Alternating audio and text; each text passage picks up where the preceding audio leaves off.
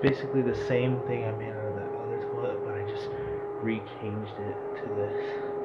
the flush of it.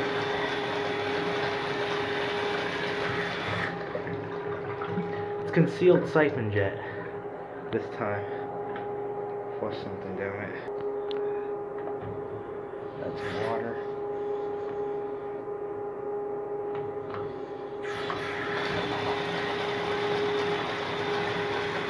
Helping a little bit.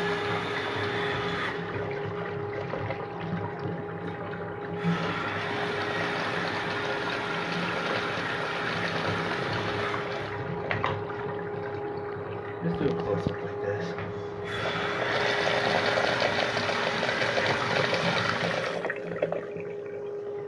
So angle like this.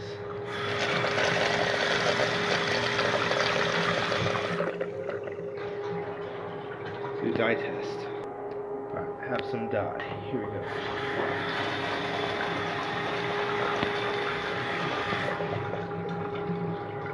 To an angle like this.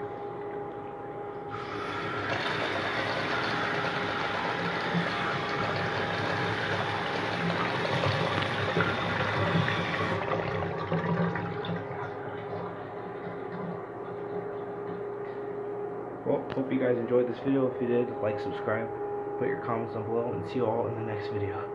VFT out.